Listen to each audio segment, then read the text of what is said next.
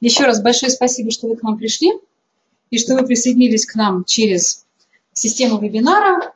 Мы начинаем, чтобы не пропустить, у нас сегодня много, четыре целых человека, которые поделятся своими историями. После каждого выступления вы сможете задать вопросы. От э, тех, кто смотрит нас в режиме вебинара, мы просим писать вопросы, э, чтобы мы смогли их передать нашим спикерам, и вы получили ответы. А мы сейчас послушаем нашего следующего прекрасного гостя. Его зовут Константин. Он приехал к нам из Берлина. Из Брюсселя. Из Брюсселя, извините, пожалуйста, да, из Брюсселя. Там два прекрасных города легко перепутать. Вот. А, я думаю, что вы расскажете о себе лучше, чем расскажу о вас я. Поэтому я могу только сказать, что это Константин, что это Академия ЦИСКа, а все остальное я дам пальму первенства вам. Спасибо. А, здравствуйте. Я а, Константин Максин, работаю сейчас в Брюсселе в компании Cisco Systems, сотрудник компании и департамента Cisco, так, если вы слышали. Я являюсь лидером команды, в направлении контакт-центров. Наверное, все вы пользовались контакт-центрами, когда звонили в банк, набирали там свой а, номер с карты, и вам а, в ответ говорили «Здравствуйте, Иван Иванович, чем вам могу помочь?» там, Федор Петрович и так далее. Немножко расскажу о себе. Когда я начинал свою карьеру, я в большей степени смотрел, чем я могу воспользоваться в той компании, где я работаю, какие знания я могу получить и как и свою зарплату, собственно, спускал на то, чтобы получать сертификацию, обучение, обучался в специалисте, по-моему, даже. Да, это ты!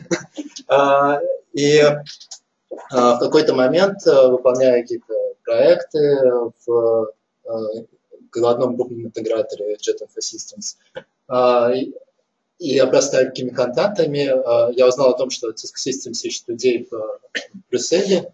Я отправил резюме, туда попал. Сейчас э, я уже там работаю 6 лет, и э, хочу немножко побольше рассказать, какие technical services, да, какие мы, что мы представляем э, нашим клиентам.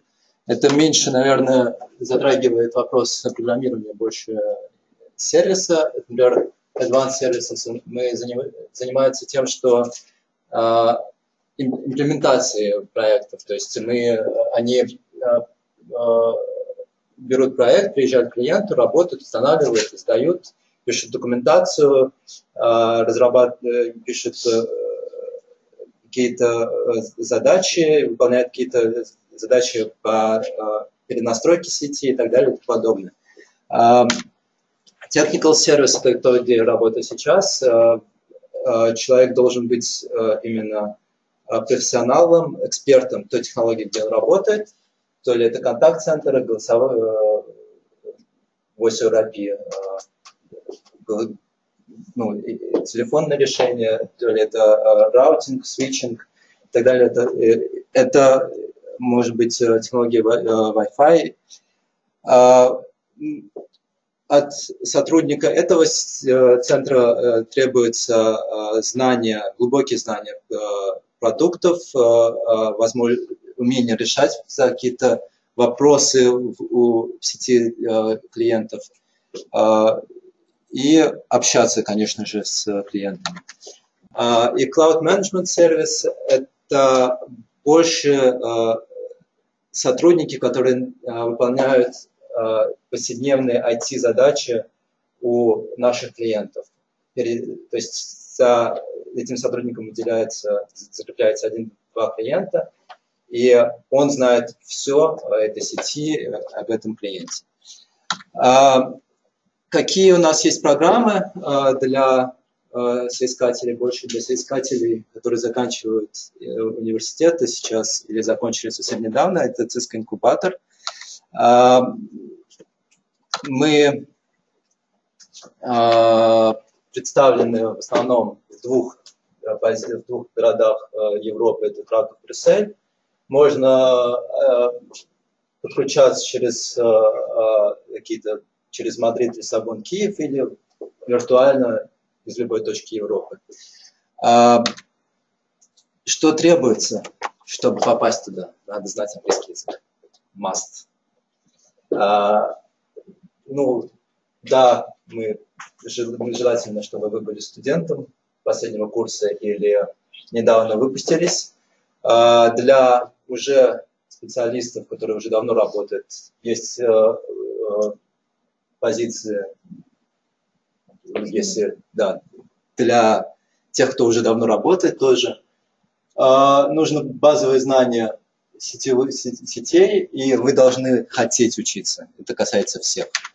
Для того, чтобы попасть в цинский инкубатор, вам надо отправить свое резюме, пройти интервью, за, попасть на э, специальный день, когда вас будут там из 100-200 человек отбирать 20-30, э, и попасть уже в компанию Cisco э, Systems и работать интерном, а потом уже получить, получить позицию внутри компании. А, на, этой, а, на этом слайде представлена фотография всех наших, э, всех моих уже коллег, которые были в этом году, в сентябре 2016 года, приняты по этой программе. Это оплачиваемо? Cisco все оплачивает. То есть, э, если вы э, подходите нам, для Cisco оплачивает э, визу вам рабочую, э, потому что это 6-7 месяцев, э, может быть 8 даже, программа длится. Э, и если вы успешно заканчиваете эту программу, вы уже... Э, Программа год от, полу, от полугода до... Но да. это полгода она оплачиваем или нет? Ну, что вы, вам предоставляется жилье, вам дают какие-то карманные расходы, и э, я, я не могу вам сказать, сколько... Но это full day, правильно? Да, full day, вы работаете там и обучаетесь больше. А, а, в чем, а, в чем суть программы? То, что все, все вот эти люди прошли одни и те же курсы. Сначала они из университета, потом прошли New Higher Orientation Training. Это просто о компании в целом, какие есть департаменты, чем они занимаются – Э, более детально о сервисах, которые предоставляет компания Cisco Systems своим клиентам, э, э, тренинги по технологиям углубленные по тем, которые вам интересно. За вами будет выделен один специалист, сотрудник Cisco, который будет вам помогать внедряться в компанию, изучать продукты, которые мы используем для вашей повседневной работы – Э, предоставляются э, тренинги по э, общению с клиентами, по презентациям и многие-многие другие. Вы будете участвовать в волонтерских каких-то проектах в том числе. Вам будут подсказывать, как развивать свою карьеру дальше внутри компании. Вы будете обрастать своими новыми контактами, не только вашими коллегами, которые будут в Cisco Systems, но и также с кем вы будете работать э, и вне Cisco, и, и, и в Cisco в том числе. И, конечно же, мы вас поддерживаем в, в плане сертификации. Все, что вы захотите. А, это все а, мы говорим, что мы, вы можете сделать, попав к нам. А если вы хотите просто изучать а, Cisco и у нас есть сайт Support Community да, на русском языке, где вы можете узнавать и какие какие-то решать свои вопросы, если вы, у вас есть именно с оборудованием Cisco какие-то. Задавать вопросы, мы будем мы на них стараемся отвечать, мы сотрудники в том числе. Вы можете участвовать в конкурсах. Конкурсы, если вы побеждаете в этих конкурсах, то вы получаете то ли э, оплату э, э, сертификационных экзамен, экзаменов, либо вы попадаете на такое мероприятие Cisco Connect, форум ежегодный, тоже без, совершенно бесплатно. Ну и также вы можете подключаться к нашим веб-кастам техническим, которые там есть, ну или прослушать те материалы, которые уже записаны. А, все на этом. У меня масса вопросов на самом деле. Я, можно, первое влезу? А, вы совершенно замечательно сказали про сертификаты. Я знаю, что у ЦИСКа, как у одного из первых университетов, таких да, глобальных, мировых и представленных в России, есть очень четкая э, система сертификации, начиная от сертификата CCNA, потом. CCNP, потом есть еще там, CCIE, да. CCIE, там их 12 как минимум, причем каждый из них сначала первая ступень, ты ее выучил, сдал первый сертификат. Вторая ступень выучил, сдал второй сертификат. И эти сертификаты принимают во всем мире. То есть это единый экзамен, который проводится во всех странах по единому стандарту, Академии ЦИСК, она его принимает. Да. И поэтому, допустим, получая сертификат здесь, э, специалист, который предъявляет этот сертификат в другой стране, будет принят с тем же уважением э, и с, тем же доверием, как он бы сдавал на этот же сертификат, например, у вас в Брюсселе. Верно, но у вас в России, в вашем центре в том числе. Это я про то, что мы точно знаем, что мы готовим э, на наших курсах сдачи этих экзаменов, поэтому все вот эти там 12 сертификатов, которые предоставляет ЦИСКа, и э, мы выдаем как раз благодаря вот этой академии ЦИСКа, с которой активно сотрудничаем. Сколько уже, если вы учились в специалисте, сколько вы учились в специалисте? Я учился, назад? наверное, в 2005-2004 году. 10. Эксперимент еще раз, дубль два. Можно? А, У меня такой вопрос по поводу сертификатов, о которых вы рассказали. Я точно знаю, что в Академии ЦИСКа есть четкая пошаговая ступень сертификации, там CCNN, CCNI, CCNP и так далее. А, И если человек сдает этот экзамен здесь, в России, он будет принят с тем же уважением и с тем же доверием к этому сертификату во всем мире, в том числе в штаб-квартире Как- и в Конечно, любой стране. конечно, конечно, будет принят. А, а Главный вопрос, это что любой сертификации, сер- это не только шилды, которые вы получаете, но и знания. Знания самое важное, которое вы получаете с сертификатом. А вы давно получали первый сертификат СИСКа? Там, Давно. Давно. Сколько, сколько лет? лет 10 тому назад. 10. А где? А В России. У нас специалисты. Не знаю, не могу точно сказать. Но Ну, если где- это Академия ЦИСКа, тогда точно у нас, потому что мы с ЦИСКа сотрудничаем да? Вполне в возможно. 2004 Вполне возможно. У нас скоро юбилей. Но, но на данный момент я являюсь CCI. Э, да, Это третья ступень. Да, эксперт. Третья ступень. Эксперт. Да. что это очень здорово. Очень здорово. А, Кстати, по поводу сертификатов, если вы не знаете, то вот эм, благодаря, в том числе ЦИСКа, которая завела этот разговор в министерстве на круглом столе, где присутствовал министр труда России три года назад, а у нас в июле 17-16 года был принят закон об обязательной айтишной сер- сертификации в профстандартах.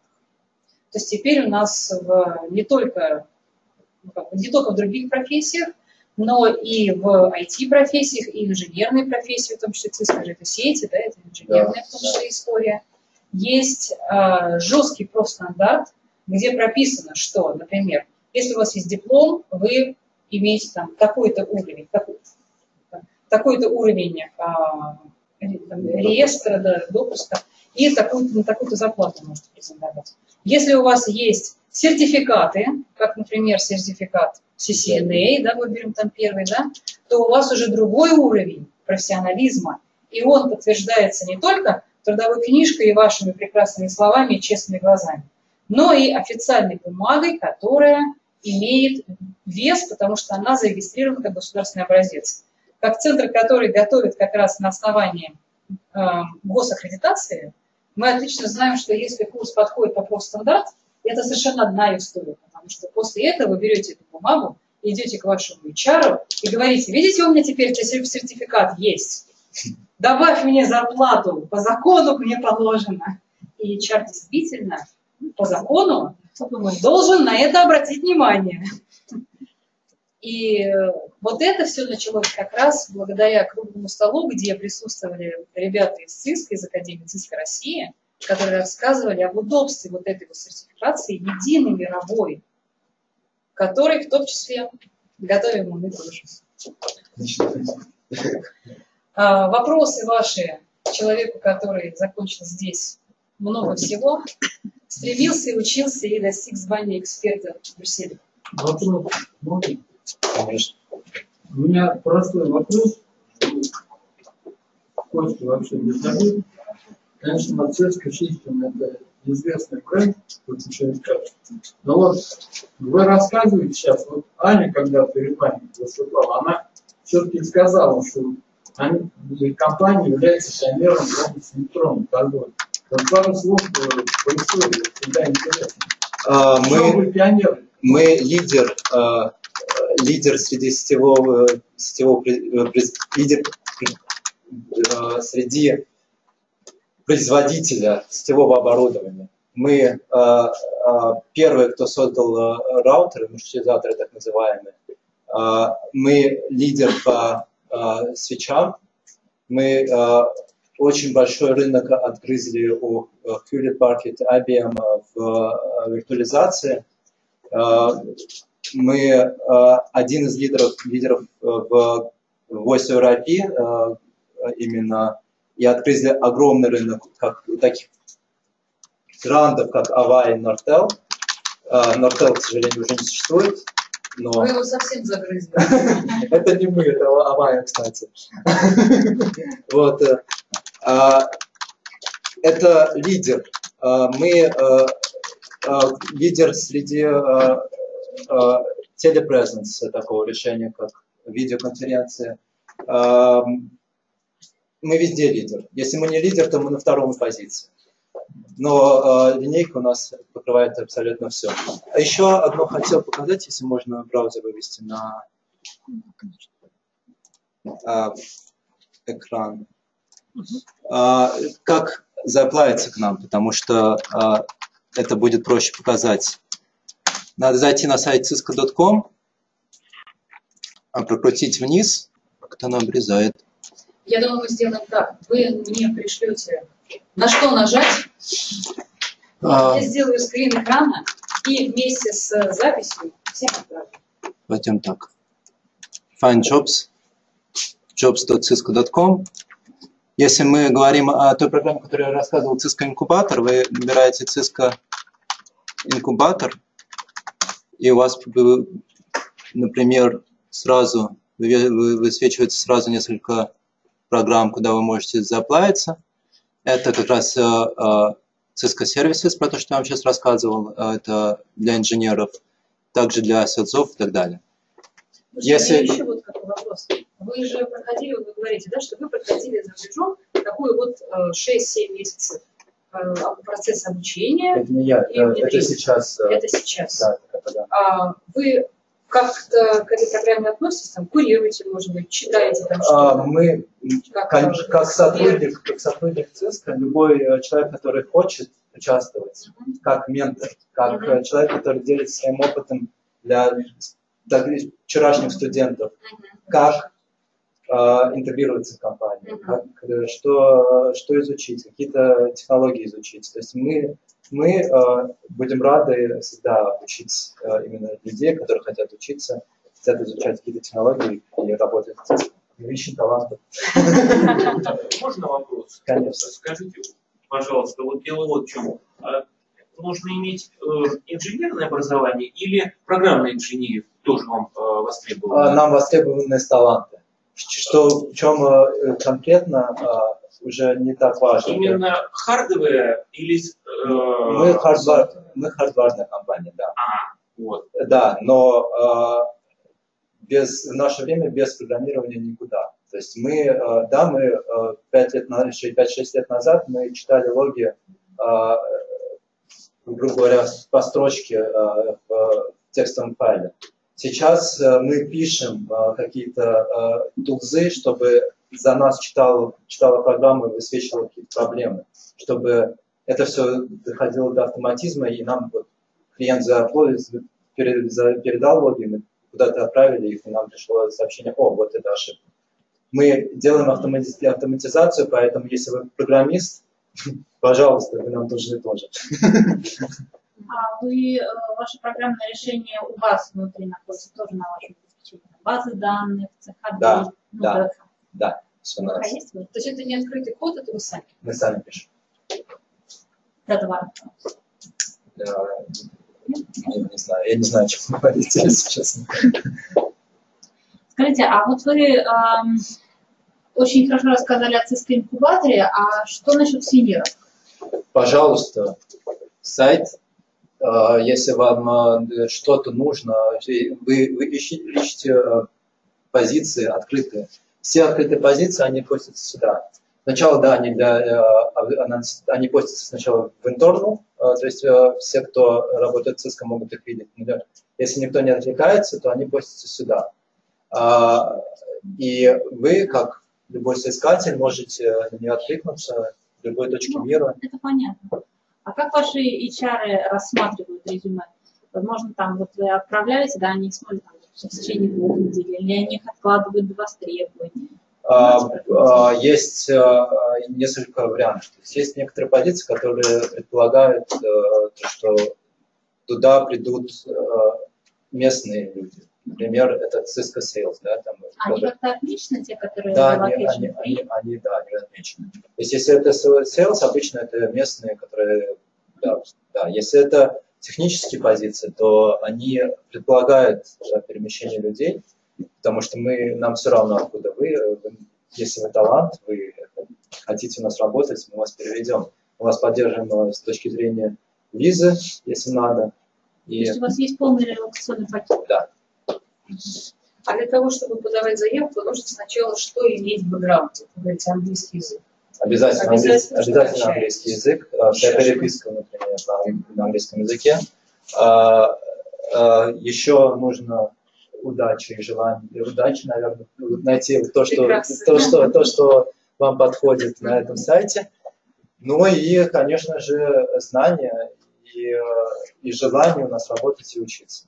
Главное ну, желание ну, учиться. А как вас конкретно собеседуют? То есть вы ну, отправили резюме, да? Да. То есть э, вам что-то ответили, а дальше что будет? То есть Смотрите, а, смотрите, первое, первое собеседование по телефону. Вам позвонит HR э, и будет спрашивать какие-то такие общие вопросы о знаниях. А, обычно э, вы переходите на второе собеседование, когда уже вам звон, не звонят, а вас приглашают либо на видеоконференцию, а, если мы говорим о специалистах, да, то есть э, вы приезжаете в офис Cisco в Москве, либо в Санкт-Петербурге, в любой точке России или э, мира, и вас уже собеседуют несколько часов э, специалисты, такие как я.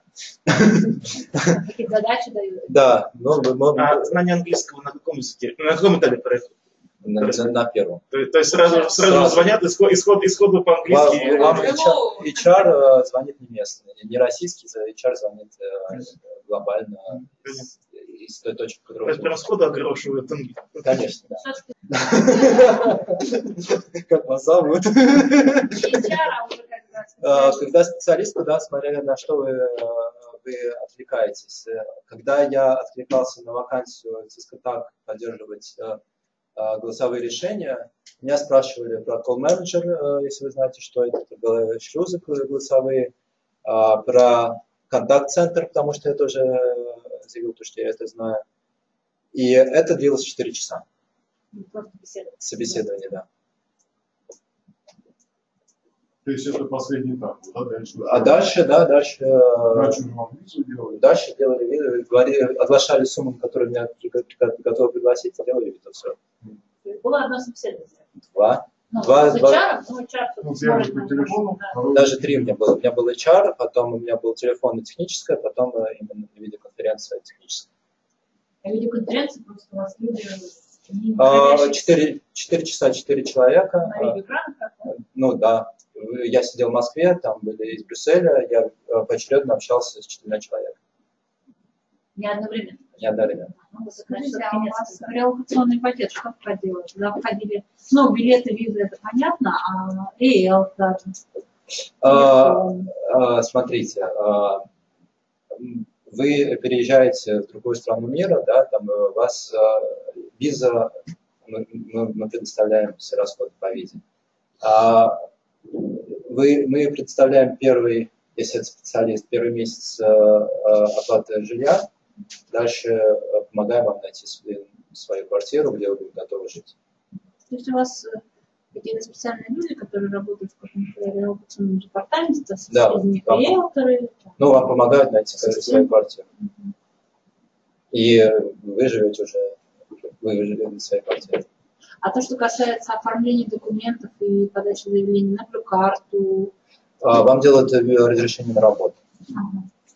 То есть э, по этому разрешению на работу вы даете уже э, документы на визу в консульстве той страны, куда, куда вы хотите переехать.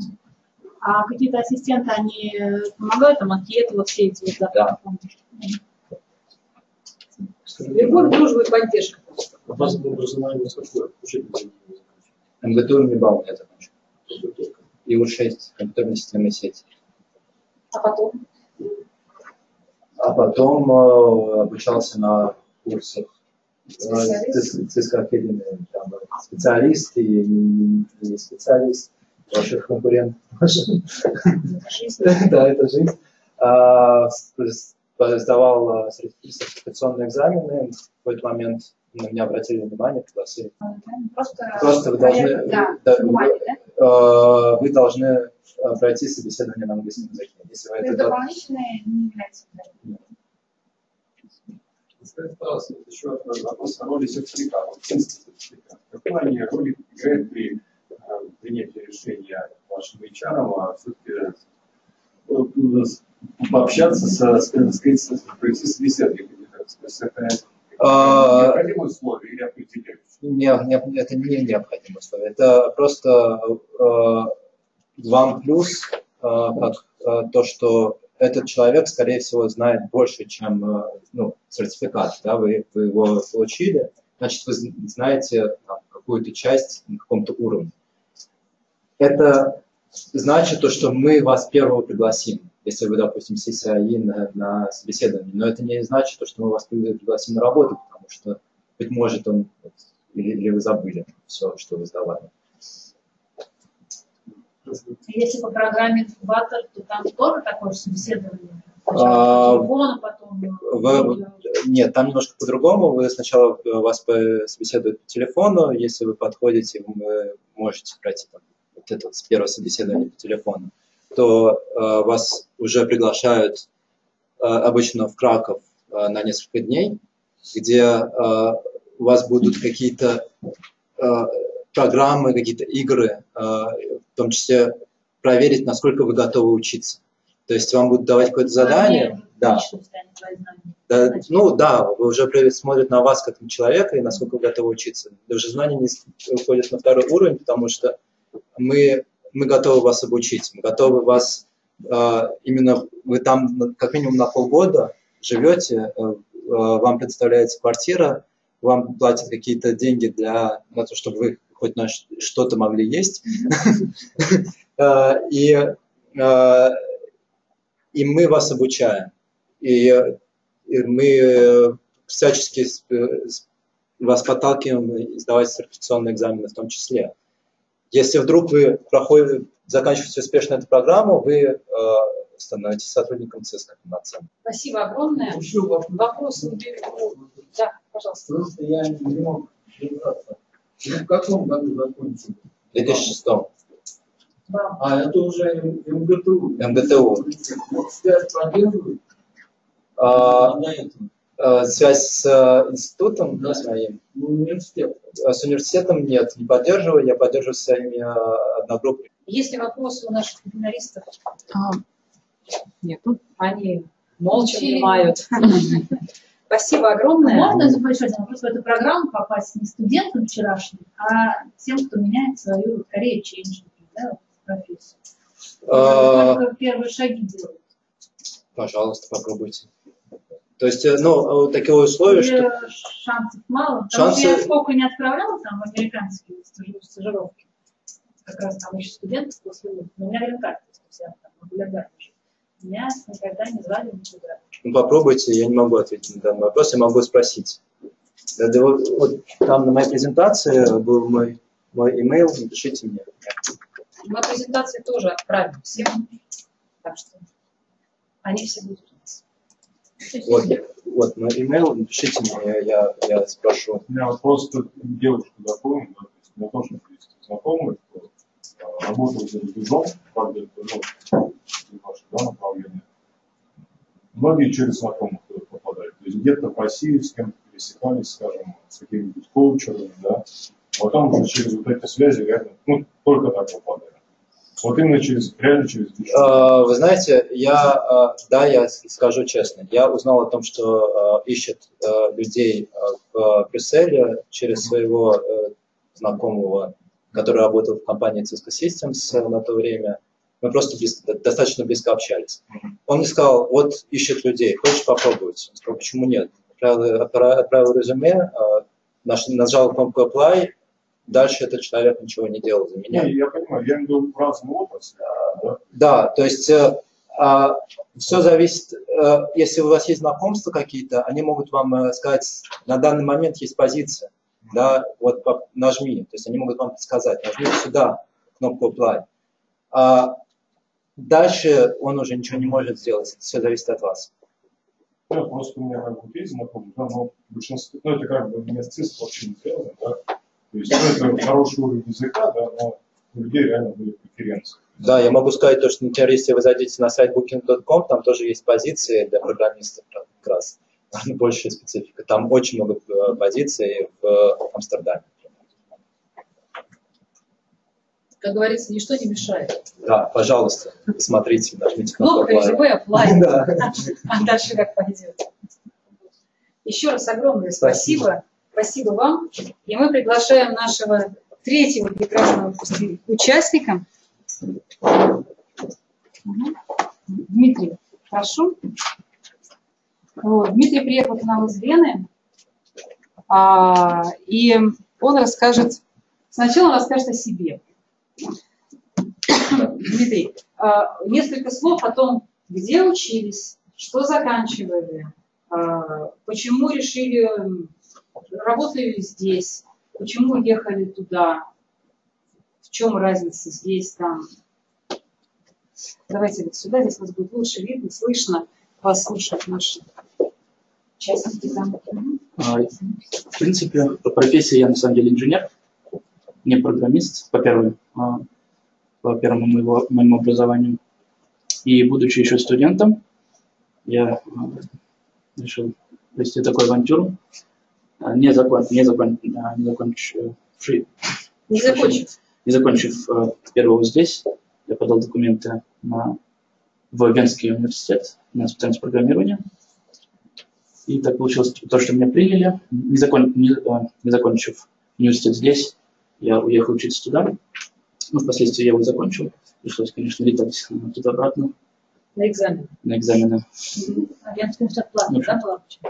Венский уни- университет платный, собственно. Я продолжал дальше учиться еще. А, то есть я полетел туда по студенческой визе. Это было, естественно, рискованно. Я бросил работу здесь, в голландской компании. Ну естественно, найти работу там мне удалось не сразу. То есть я проходил собеседование, а, встретил много трудностей в первое время. И, конечно же, Вот про трудности интересно. в первую очередь, самая большая трудность – это иностранные языки. То есть вы должны по умолчанию владеть английским и немецким. Ну, то есть в идеале, конечно же, в совершенстве. Ну, пришлось очень быстро, в общем, ам, учиться. Ам, Да, предварительно, до того, как я уехал туда, я закончил также курсы специалиста. Шесть. Шесть Один. курсов. э, комплексный курс, Да. который включает в себя э, все части э, веб-программирования. М, Получил международный сертификат и, собственно говоря, он мне очень помог в дальнейшем. Ну, Приятно слышать. нашел веб-студию и благополучно устроился. Сейчас вы работаете в веб-студии Да. в Вене. Да. А, и в веб-студии, насколько я понимаю, вы делаете сайт. Совершенно верно. Различные приложения. сайт, приложение. И продолжаете учиться Продолжаю в учиться также. австрийском, в Венском университете Венском. на программировании. Да. Совершенно верно. Кроме ан- языка, английский, немецкий в совершенстве и сразу. Еще какие были, вот вы говорите, сначала были сложности, но у вас получилось их пройти. Что были за сложности? Чем таким вы столкнулись там, чего не было здесь? Скажу честно, в веб-студии здесь я никогда не работал в России. А, Не могу сравнивать именно в данном контексте, но а, на тот момент требовалось, помимо знания языков программирования, непосредственно с которыми нужно работать, э, еще пару дополнительных и желательно э, еще ряд э, свойств человеческих нужно было иметь.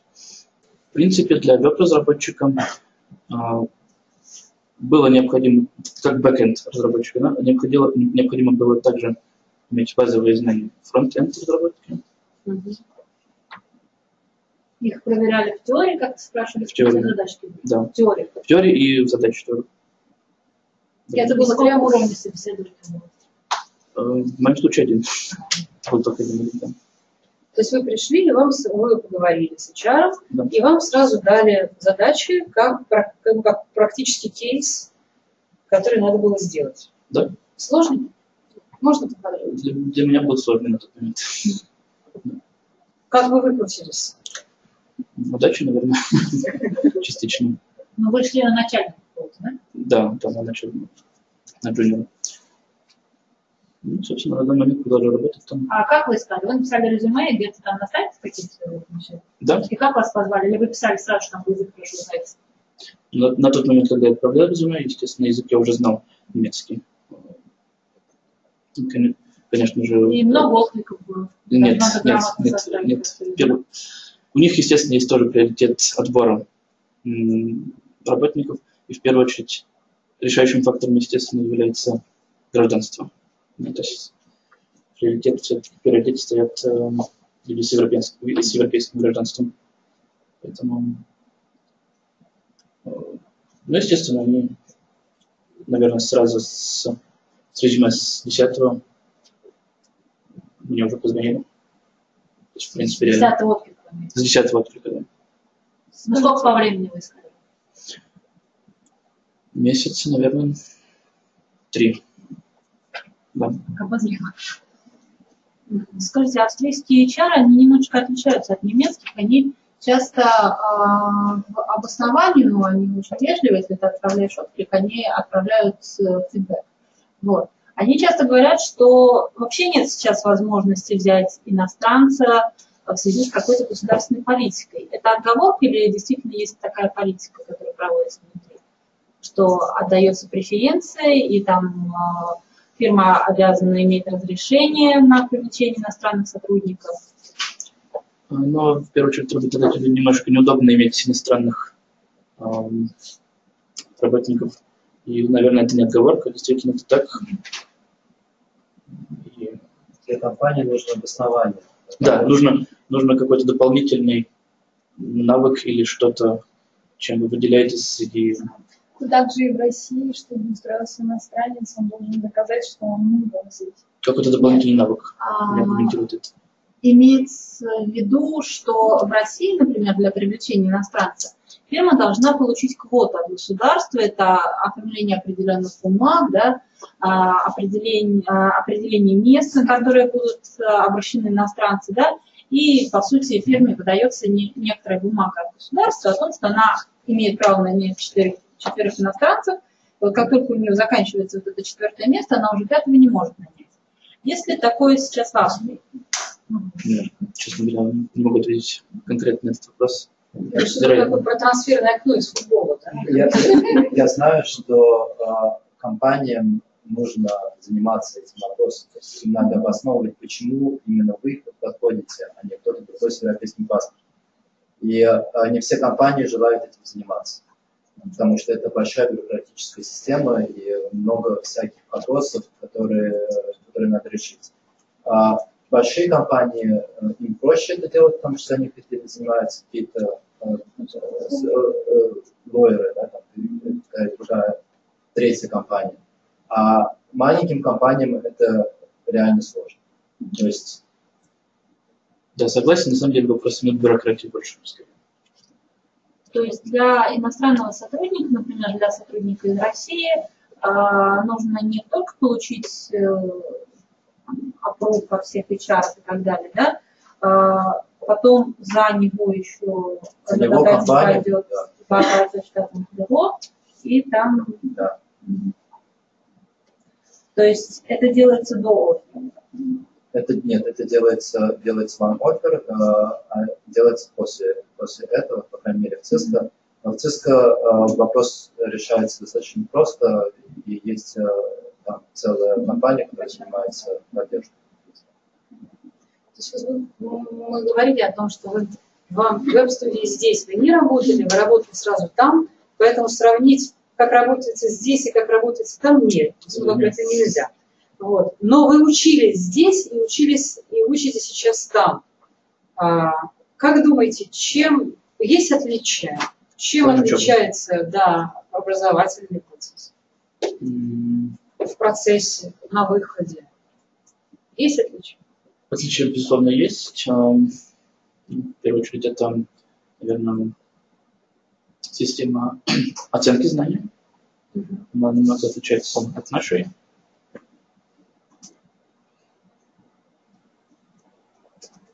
М, Ну и могу сказать, что программа в Венском университете, конкретно в этом вузе, постоянно меняется, м, постоянно меняют предметы, постоянно добавляют новые.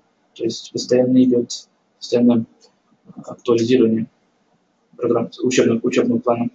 У нас это здесь не так э, интенсивно проходит. Мгм.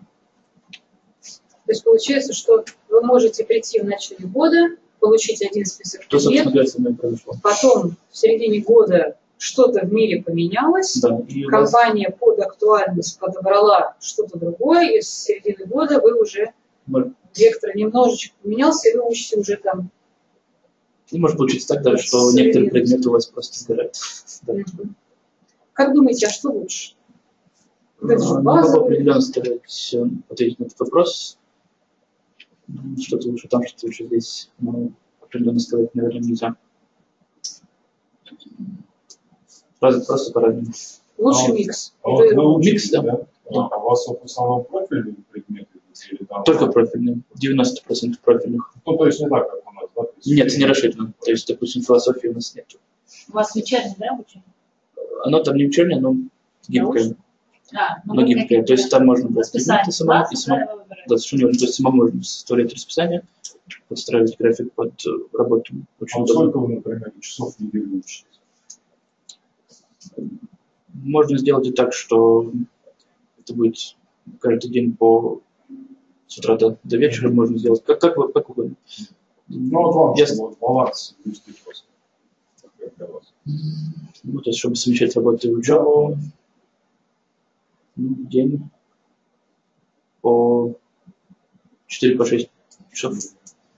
Ну, Ну, 6 это максимум. Приходите, там преподавать? Да, естественно. Нет, есть, есть, естественно, система стрима, то есть, э, когда вы и в поезде можете открыть э, и, ноутбук и смотреть лекцию в режиме реального времени или потом. То есть, в принципе, очень удобно. Обучение у вас на английском языке или На немецком, на немецком. И изна- изначально тоже было на немецком. Все было изначально на немецком, А в работе вы используете на только, немецком. Только немецкий. Сколько лет на- вы уже Три года. три года. А вам, кстати, не сказали в итоге, чем вы все-таки покорили, я не знаю. Нет, Важно. это осталось секретом. Да. Хороший стимул двигаться дальше. А вот период, извините, адаптации, приехали, не- на немецком обучении, работы нет, и все это уже очень давило, хотелось нам все бросить и вернуться обратно, и сколько, когда вы стали себя чувствовать комфортно? Дело в том, что я до этого работал в голландской компании, постоянно бывало такое, то, что мне приходилось летать по три раза в неделю в Австрию, поэтому я, в принципе, был частично адаптирован к этой стране, поэтому больших проблем Но вы не жалели ни разу, что? Или поначалу все-таки было сложно? было не поначалу, наверное, чуть-чуть попозже в какой-то момент, но в целом нет, не жалею. Еще есть вопросы? Но работать в офисе не дистанционно. В офисе. В офисе. Получается, что более дистанционно вы учитесь. Более Когда там в дистанционно я системе стрима открыли лекцию. Да, или- да. во время работы. да, делается. А вот полученные знания вам в работе как помогает, то, что в университете сейчас получается, да, Совершенно, совершенно точно. применять? Совершенно точно. Более того, знания, полученные здесь, у меня тоже сыграли колоссальную роль Ну, да. при приеме на поступление на работу. Да. При поступлении туда на работу или при поступлении туда в институт? на работу, и частично мне помогает, пом- помогло это учиться, потому что, собственно, предмет программирования был достаточно сложный там. Естественно, с знаниями PHP э, другие языки мне давались намного проще, если бы я это не знал. Понимаю. Э, Скажите, пожалуйста, вот, Дмитрий, вот вы себя нацеливаете а, вот, в учебе в основном на будущность как веб-разработчика? Или вы хотите куда-то перейти в C++? Хочу, хочу в дальнейшем, да, что-то более сложное и интересное. а, более, а, как бы это, Промышленное, я бы сказал. так. более Программирование контроллеров, что-то, что-то такое. да. А, а скажите, а вот новичок, допустим, который ищет работу в Западной Европе, вообще в Европе, так скажем, а, как вот оптимальнее всего нацеливаться на какую именно программирование, на какую отрасль программирования? Наверное, нет программирования как более а, такую самую широкую, многочисленную область. Или все-таки в которой проще найти э, вакансии? И, потому что вот вы, например, тоже э, ориентировались на веб-разработку и, э, видимо, нашли работу, по вакансию веб-разработчика. И вы считаете, бы- если кто-нибудь друг- другой пошел вашим путем, э, то вы бы тоже порекомендовали искать именно на веб-разработке? Ну, на начальном этапе, наверное, веб-разработка она проще, поэтому, наверное, я бы советовал веб-разработку. Тем более это вполне актуально по сей день остается и в ближайшем, и в будущем это будет оставаться, мне кажется, очень востребованным. Поэтому, да, веб-разработка, наверное. Какие сейчас вот джентльменский, джентльменский набор, какой, то есть минимум, а, который нужно соблюсти в программировании? То есть необходимо знание а, фронт, э, фронтендного языка, бэкэндного, а, то есть PHP, JavaScript, или я ошибаюсь, какие вот нужны языки знать? Ну, в первую очередь, это базовый набор PHP, JavaScript, эм, естественно, HTML, XML. эм, Да, безусловно, это также нужно иметь знания о представлении о сервере, Ага. хотя бы базовый. Э, Также очень важно знать хотя бы поверхностно фреймворки, э, такие как э, Symfony, может быть, фреймворки, далее библиотеки, jQuery, может быть, эм, AngularJS. Они могут потребовать какие-то дополнительные э, знания, но, в принципе, основные это PHP, JavaScript. Понятно. А Вы, говоря сервере, вы имели в виду Microsoft, э, Microsoft сервер. Microsoft. Э, Обязательно знать Linux, это очень важно, как пользоваться. А вообще больше в ходу Linux или Windows? Австрийцы любят Linux. Они любят Linux, там. То есть работа в командной строке, Да, о, переменные да, среды, да, вот это вот все, да? И это вы имели в виду под словом сервер. А, То есть Да. серверные сценарии, соответственно, чтобы запускать, необходимо всю вот эту вот начинку сервера знать, интерфейс. Ну, не обязательно все знать, но, опять же, базовые знания. Представление. Понятно. А нужно знать вот сетевые технологии, допустим, а, вот эта вот а, вещь, как а, IP, маршрутизация, а, пингование. и- Безусловно, будет плюсом, но не обязательно. Для веб-разработчика. Далее. А вы приложение тоже же разрабатываете, да? Да. А на чем? Swift? Или Swift еще не очень популярен? Swift пока еще не очень популярен. А на чем? Есть приложение. Но в основном это веб-разработка. Испытать на срок сколько проблем? Три месяца. Три месяца. Работаем. Дмитрий, еще вопрос. Вы сказали, что европейские компании, они а, больше ориентированы а, с, с- э, брать на работу лица, вещи европейского гражданства в связи с, с э, бюрократическими накладками, в связи с тем, с тем, что они должны обосновать э, предложение иностранных специалистов. А, Вот как вы думаете, какие могут быть, э, вот что, вот что является обоснованием э, для приглашения кого-то из например, граждан России на работу, на работу в Европу, если работодатель видит только ваше резюме? То есть нам еще нет правительства. Уже откликнулись на вакансию, вот есть ваше резюме, и вот какие основания, как относятся ваше резюме, могут быть э,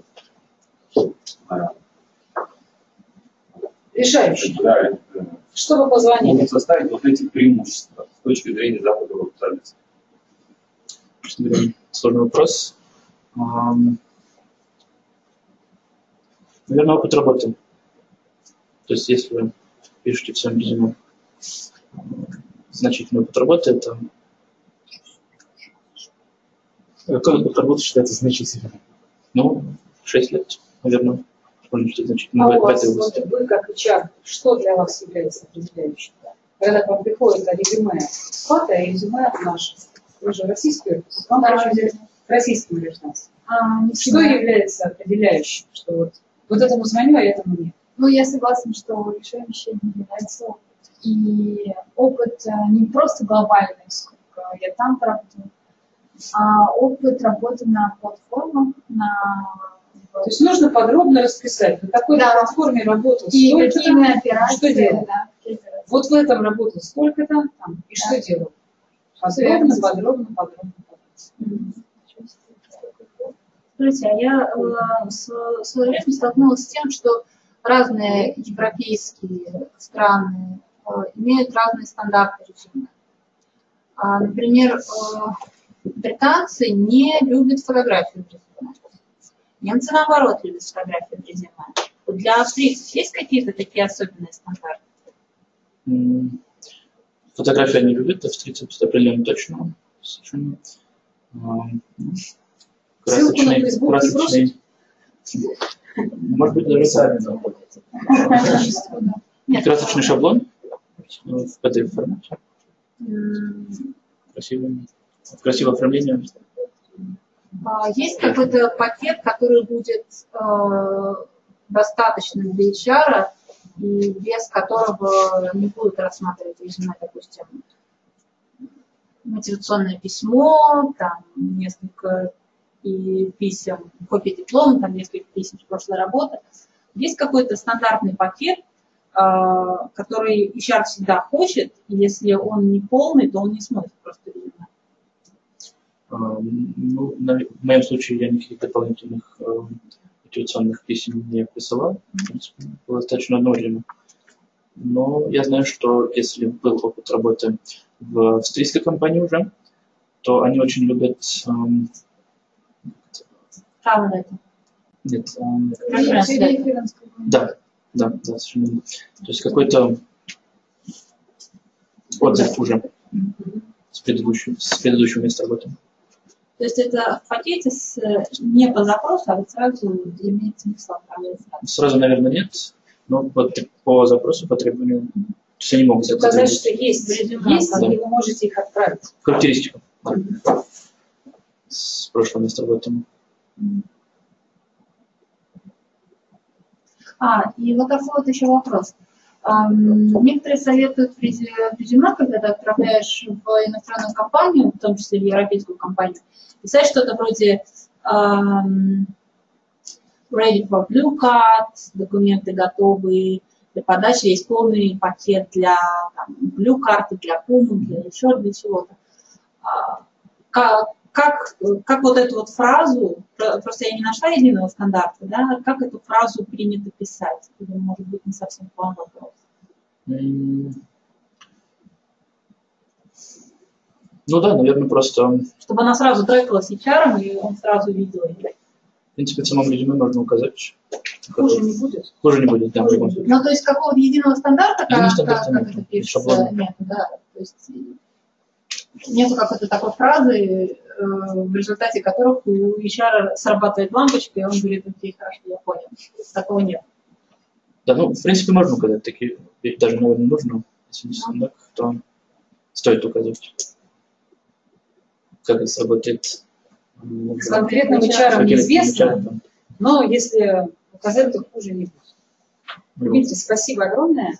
Есть ли вопросы у наших слушатели по интернету. По-прежнему. Они слушают, понимают. Я поняла. Спасибо большое. Спасибо. И а, сейчас я представляю мою коллегу Светлану, которая занимается а, изучением, преподаванием английского языка для корпоративных университетов. И в том числе, а, я думаю, что по вопросу, как пройти собеседование на английском, она расскажет много и хорошо. А, а, добрый день всем. А, меня действительно зовут Светлана. Я, я позволю себе сидеть, потому что думаю, что так будет чуть-чуть удобнее а, демонстрировать. Ну, а, у меня, ну, это пара слов обо мне.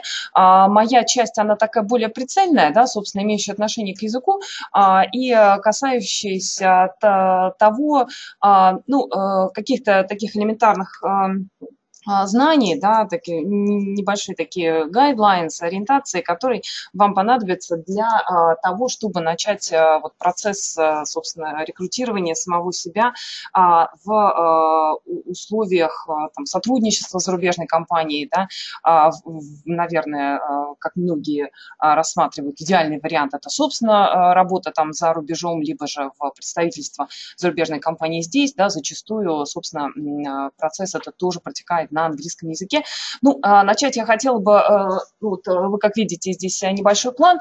Ну, а начать я хотела бы с того, чтобы спросить, задать вопрос э, очно присутствующим и а, тем, кто у нас присутствует в вебинаре. Скажите, пожалуйста, помимо вот наших спикеров, сегодняшних, очевидно, имевших такой опыт и успешный при том, насколько, собственно, да, вот люди, собственно, действительно пробовали получить работу а, за рубежом, уже начинали процесс поиска на языке. Откликов практически нет, а когда есть отклики, знаю, что я в Москве. Uh-huh. Так интересно, потому что я только недавно, три года работаю в этой области, и uh-huh. не такое обязательство. Написано специалист, чтобы какие-то... Не такой большой опыт. Да, испытывать найме. Uh-huh. Uh-huh. То есть я предполагаю, что если я была на месте, было бы проще, uh-huh. но наверняка. Uh-huh. Uh-huh. И а. У меня было два собеседования, оба раза это было по знакомству. А еще кого-нибудь? Ну так, а, по большому счету, да, а, скорее а, новички в этой области. Вот в вебинаре я смотрю по-прежнему, нам тоже желающих ответить в этом отношении чего-то нету. Хорошо, тогда, ну, я надеюсь, что это хоть и наверное, довольно быстро у нас пройдет, но, тем не менее, а, будет тоже для всех полезно. Ну, а, собственно, с чего мы начинаем процесс а, любого трудоустройства? Естественно, мы да, используем резюме, составляем свое резюме. Ну, буквально несколько таких общих мест, которые, в общем-то, наверное, актуальны для любого, для любой специальности, ну вот в том числе для вашей в том числе. Да мы не делаем резюме очень большим. Да? Вы понимаете, что HR работают с огромным количеством а, а, информации, которую им при, присылают потенциальные соискатели, и а, никакого ни времени, ни возможности, ни желания просматривать огромные страницы чьих-то достижений у них а, просто нет. Поэтому а, старайтесь а, делать этот размер умеренным, таким, чтобы вся важная информация максимально быстро выхватывалась собственно, а, человеком, который на а, это резюме смотрит. А резюме должно быть сформулировано таким образом, чтобы компания была, э, как бы видела то, что она хочет видеть в своем успешном соискателе. Да? Поэтому преимущественно все-таки, особенно если у вас много различного опыта, да, фильтруйте то, э, то, на что вы хотите акцентировать внимание для данной конкретной компании. Да? То есть делайте свое резюме ну, таким кастомизированным для конкретной вакансии вакансии.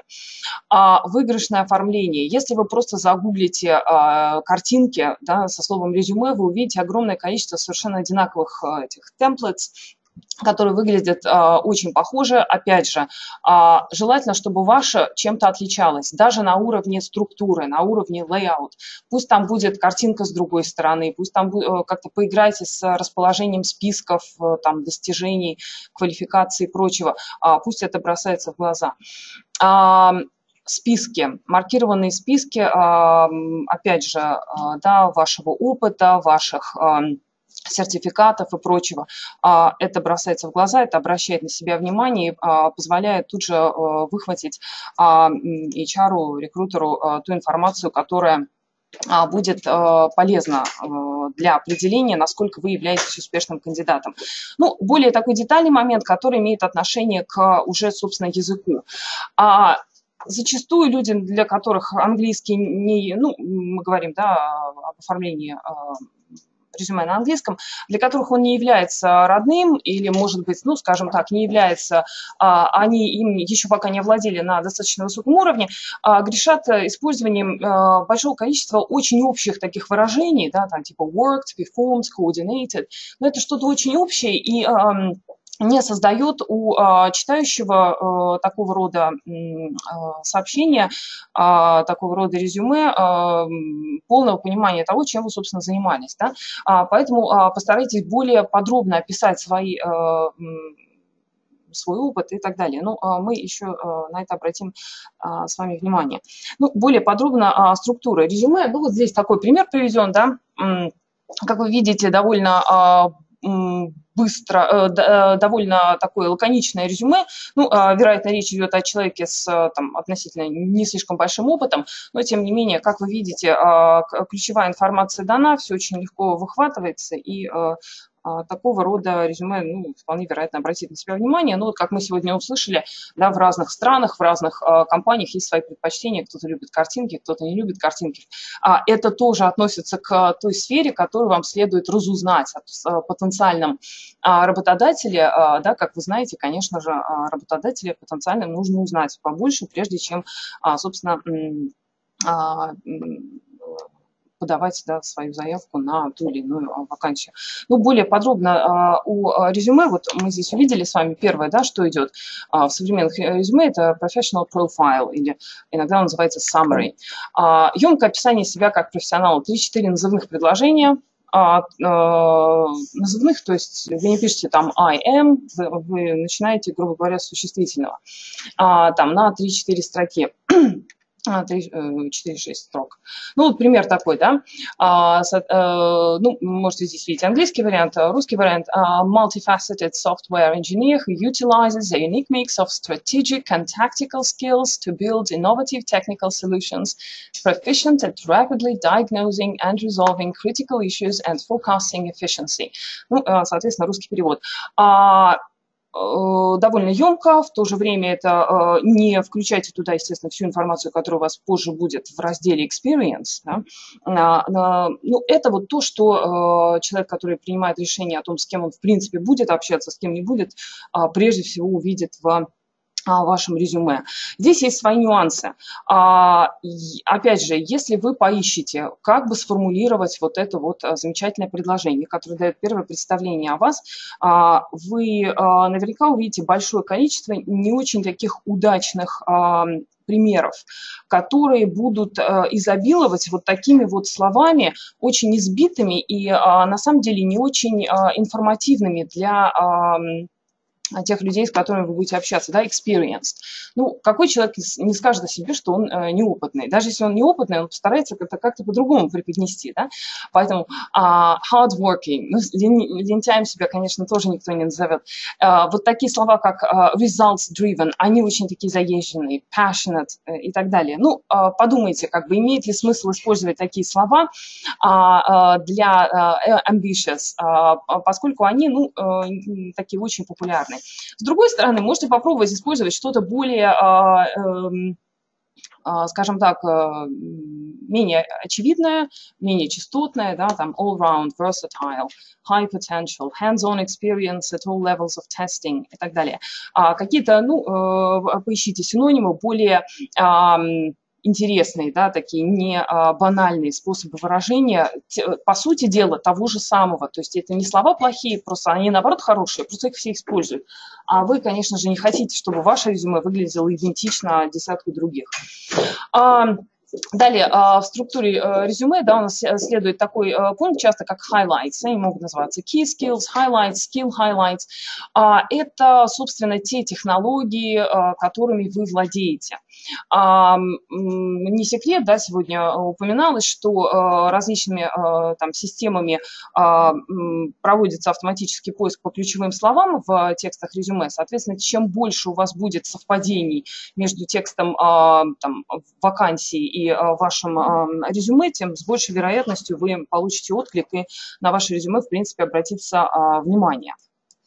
А, поэтому э, их обязательно включите. Ну, а, опять же, да, э, те моменты, которые релевантны данной вакансии. Не надо писать обо всем на свете, может быть, если не все актуально для а, данного работодателя. Experience. О чем мы здесь пишем? Ну, вот есть такой, э, такой момент, да, вот мы можем с одной стороны писать responsibilities, это ваши обязанности, да, то есть чем вы должны были заниматься на предыдущих или, возможно, текущем месте работы. А, ну, а, вот это не самая оптимальная формулировка. Лучше писать свои accomplishments. Что это такое? Это достижение, собственно, не просто чем вы занимались, а чего вы достигли. То есть в таком более успешном ключе а, описывать свое а, свой опыт.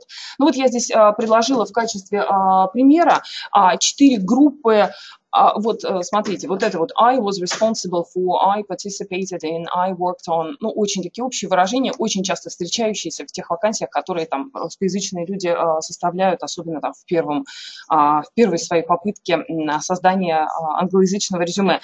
Смотри, э, я здесь предложила три четыре группы выражений, да, которые, э, ну, это глаголы, мы говорим преимущественно о прошлом опыте работы, которые вы можете использовать, э, чтобы как-то, ну, немножечко разнообразить э, текст своего резюме и произвести такое более впечатление человека, во-первых, там, могущего похвастаться какими-то реальными достижениями, с одной стороны, а с другой стороны, что немаловажно, собственно, владением более разнообразным а, спектром лексики на английском языке.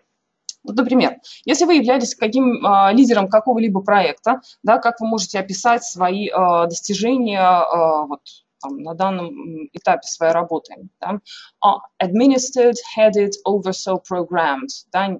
Там, большинство пишут, допустим, просто administered. Но смотрите, варианты такие есть, и их может быть даже больше. Там, далее следует название проекта, там, название его и так далее.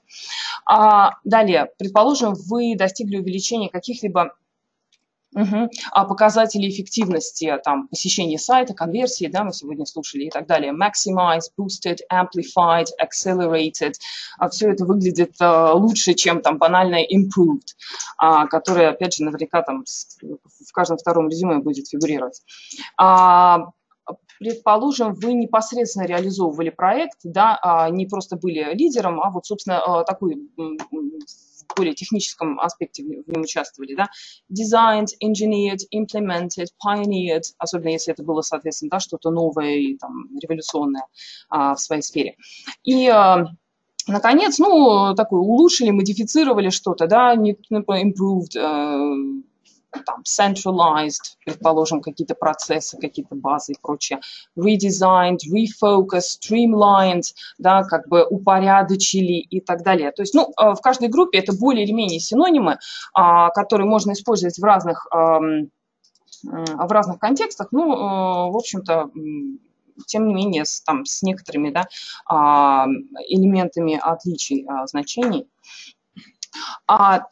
А Э, далее, а, вы пишете о своем резюме, э, вы пишете в своем резюме о своем образовании. Здесь, ну, мы все знаем, что образование – это реалии, да, а реалии мы не совсем, пере, э, как бы, здесь все, все время проблема, мы переводим или мы даем эквивалент, потому что там, если бакалавр, магистр, вот, да, современная система, она как-то имеет такие четкие корреляты в английском языке, да, bachelor, master, а, то вот со специалистом все не так очевидно, но вот путем, как бы, анализа различных мнений, вот я пришла к выводу, что все-таки лучше сформулировать вот это именно таким образом. То есть бакалавр, магистр э, имеют четкие эквиваленты в, соответственно, английских, англоязычных и прочих странах. Поэтому пишем так, как это э, ваш работодатель англоязычный или владеющий английским языком ожидает увидеть, да, Bachelor of Science.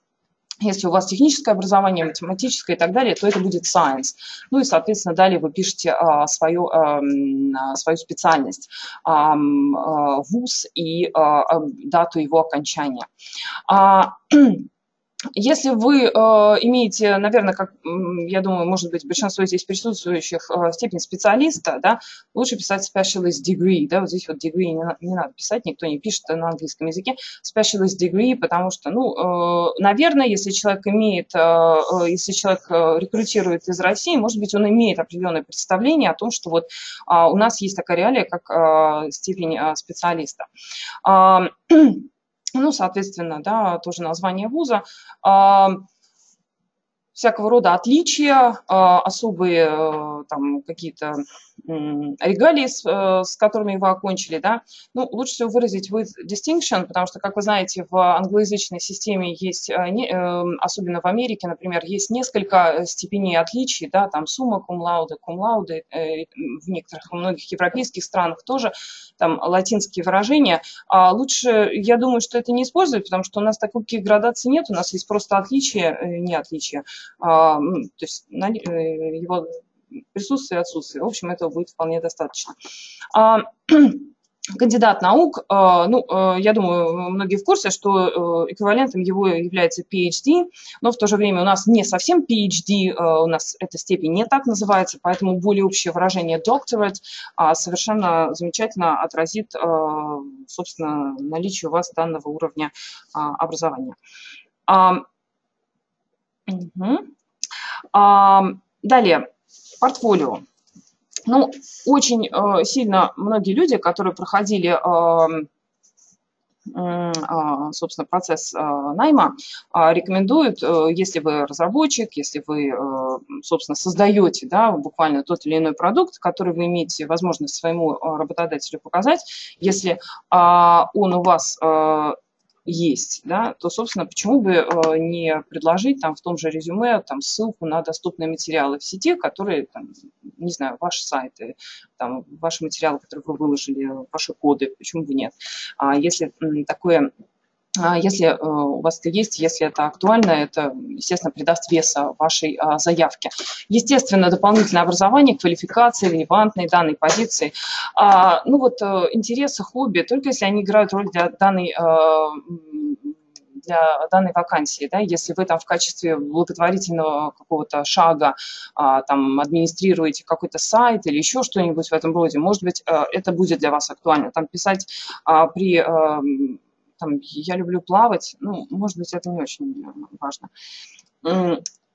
Сопроводительное письмо, да. Ну вот как мы сегодня услышали, выступавшие э, сказали, что, в общем-то, в своем опыте его э, кто-то и не использовал, да, но тем не менее, в общем, э, в основном рекомендуется его использовать, да, это то, чем ваш, э, если ваше резюме, оно такое немножко безличное, это форма, э, довольно такой формальный, официальный документ, то сопроводительное письмо, оно имеет вот такой personal touch, это вы буквально коммуницируете со своим потенциальным работодателем, поэтому собственно, можете а, его приложить, да, ну, в общем и целом.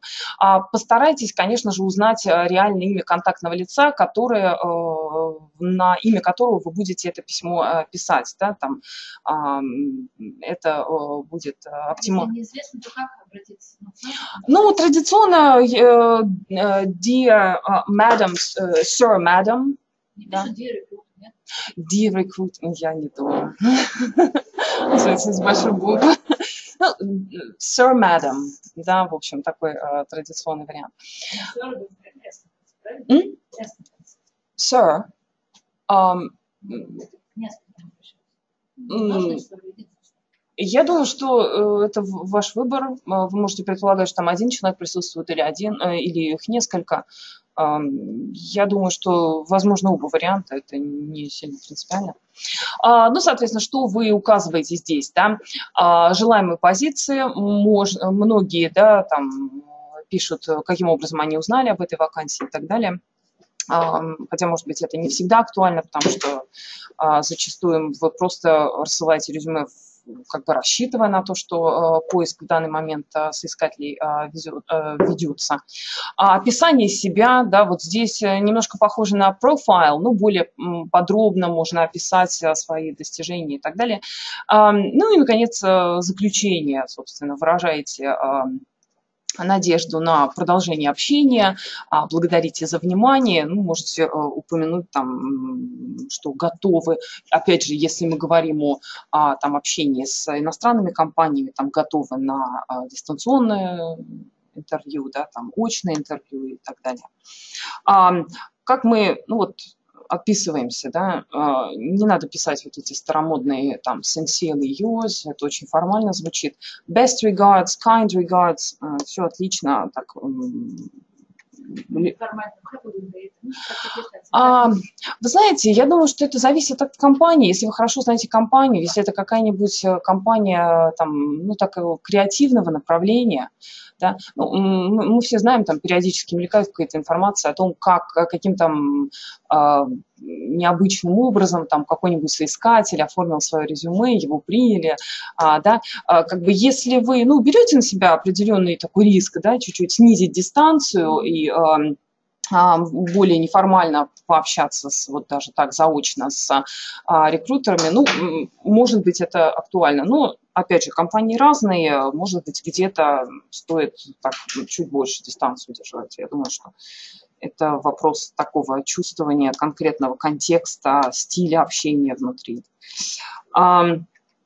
Окей, okay, собеседование. Да, предположим, все прошло хорошо, вас, э, вас пригласили, будь то э, дистанционно, э, ну, особенно очно, да. Э, ну, я, наверное, не скажу ничего нового, если что мы так, ну, не самые вот, на первых порах, да, дружелюбные, э, производящие дружелюбное впечатление люди. Вот. А, очень типичный вариант диалога с русскоязычным человеком – это у него спрашивают там «How are you?» Он говорит «I'm fine» точка.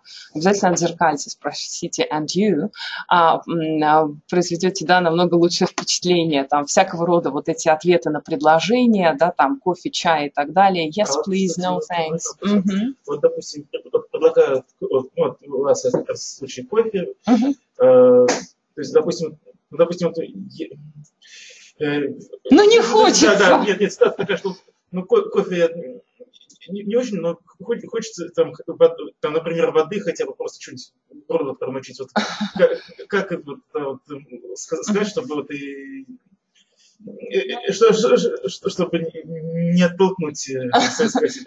А, вы знаете, если вы, на самом деле, я поделюсь таким наблюдением и признанным фактом, когда вы общаетесь на английском языке, самый отпугивающий момент – это отсутствие улыбки, да, mm-hmm. вот это вот Russian poker face.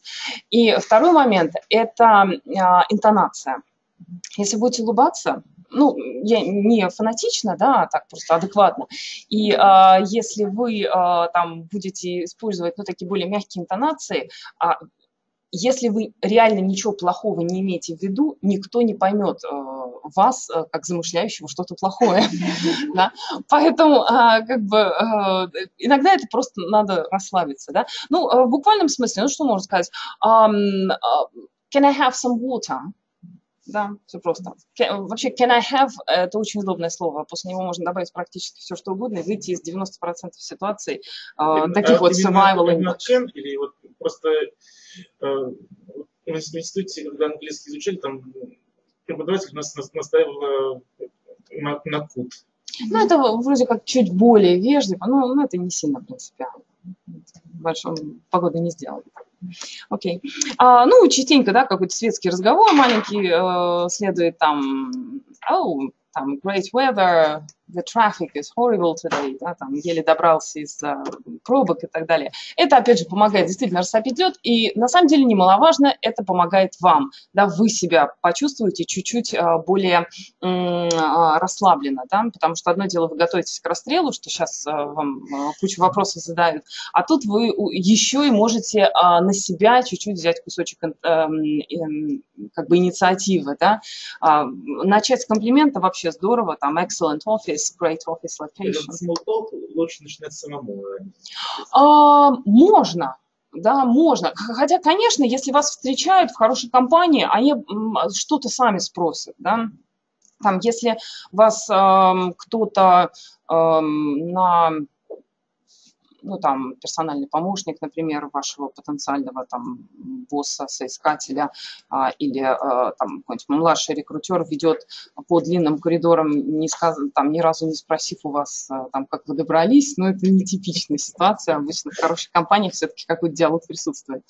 А, ну, собственно, на самом собеседовании, да, уже встретившись с целевым сказать, собеседником, ну, конечно же, можно, а, собственно, и инициировать такого рода разговоры, это замечательно.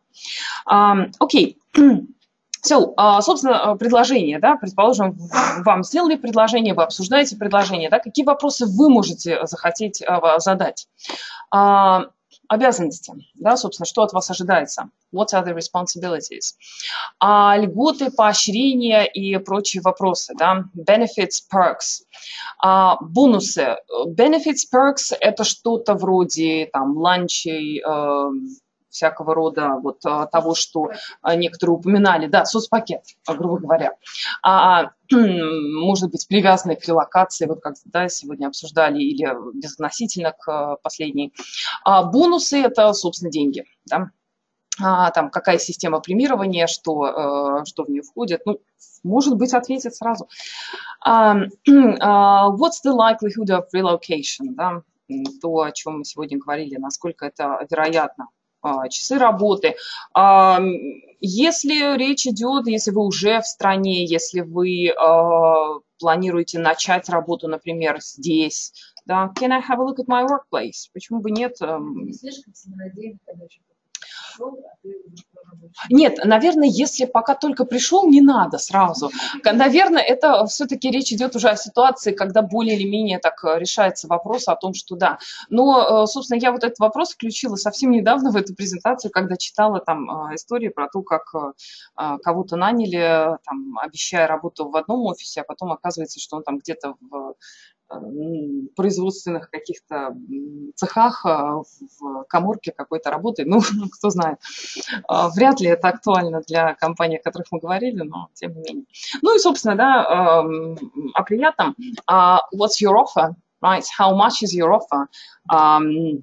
Здесь мы уже да, будем говорить о финансовом предложении, да, там есть, а, можно спросить об этом в сочетании с соцпакетом и так далее. Окей, okay, особые вопросы, да, это, ну, так, что называется, tricky questions, которые, соответственно, у вас, э, вам могут задать, да. Э, вариантов очень много, все э, участвовавшие в собеседованиях называют разные вещи. А, ну вот, например, what's been your greatest challenge so far, да, что было самым сложным для вас в вашей а, карьере до сих пор. Да? А, ну, э, как тут э, плохое уравновешиваем с хорошим, да, там что-то было вот очень сложным, но это был отличный э, опыт для обучения, да, там я что-то из этого вынес. Uh, what are your weaknesses? Сложные, uh, слабые стороны, да. Не говорите, что вы чего-то не знаете. Скажите, I have limited experience. I'm willing to improve. Да, сегодня мы упоминали, как важно продемонстрировать, что вы готовы учиться, что вы готовы а, постичь какие-то новые горизонты, которые, возможно, для вас еще пока не, вами пока не охвачены.